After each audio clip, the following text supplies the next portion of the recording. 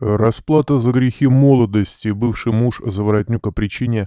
Заворотнюк умерла в 53 года после продолжительной и тяжелой болезни. У нее был рак мозга, она лечилась с 2019 года.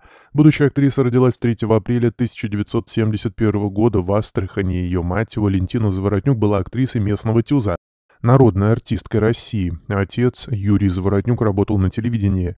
Заворотнюк с детства хотела играть на сцене, однако сначала она пошла учиться на исторический факультет Астраханского государственного педагогического института, который бросила в конце 80-х, чтобы получить актерское образование.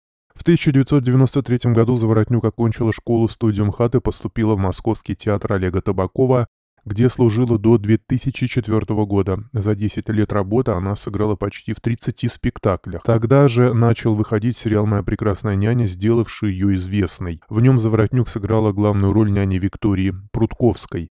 Актриса после этого продолжила активно работать на телевидении, в том числе в качестве ведущей программы «Танцы со звездами», «Танцы на льду», Ледниковый период, Лед и пламень, Две звезды и других. Всего она снялась в более чем в 30 фильмах и сериалах. Первым мужем Анастасии Заворотнюк был бизнесмен немецкого происхождения Олаф Шварцкопф. Он женился на начинающей актрисе по большой любви и очень хотел от нее ребенка. Но случился выкидыш. Олаф считает, что на самом деле это было прерывание, хотя так и не решился спросить об этом супругу. Но он пытается не связывать это трагическое событие со смертельной болезнью Заворотнюк, хотя все вокруг только об этом и говорят. Мне очень жаль, что наш ребенок не выжил. Трудно было это пережить, тем более сделать прерывание, когда ребенок уже сформировавшийся. Это страшно. Я от многих слышал, что вот, мол, погиб ваш ребенок, в итоге она заболела, как расплата за грехи молодости, говорил Шварцкоп в одном из шоу на федеральном канале.